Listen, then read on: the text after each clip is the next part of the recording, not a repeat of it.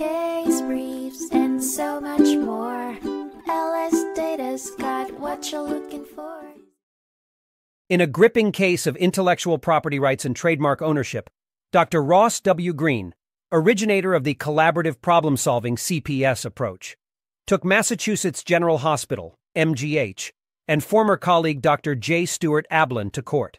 The controversy focused on CPS, a treatment method for children with explosive behaviors, and who had the rightful claim to its associated trademarks and copyrights. Dr. Greene's dual works, a solo tome named The Explosive Child, and a co authored publication, Treating Explosive Kids, penned with Dr. Ablon, formed the conflict's basis. Following a professional disagreement with MGH and a falling out with Ablon, Greene initiated legal proceedings, charging MGH with breach of his CPS related trademarks and Ablon with violating his CPS related copyrights. The initial decision from the lower court seemed to favor MGH, with the trademark claims being ruled in their favor. A more complex outcome emerged from the copyright allegations, with the court asserting that treating explosive kids represented a joint work, not a derivative one, as per the Copyright Act's provisions. The jury reached a conclusion that awarded Greene $19,000 for Ablon's infringement on the explosive child.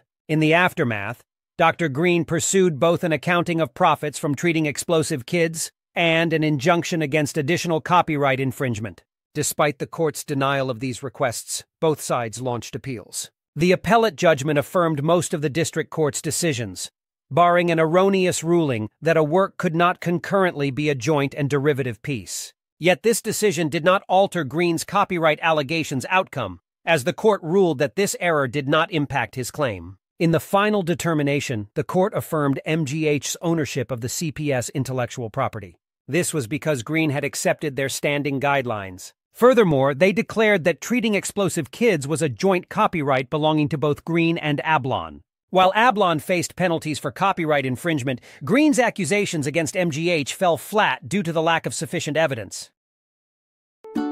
Case briefs, and so much more. LS Data's got what you're looking for. Visit lsd.law, elevate your mind. Leave the stress of class.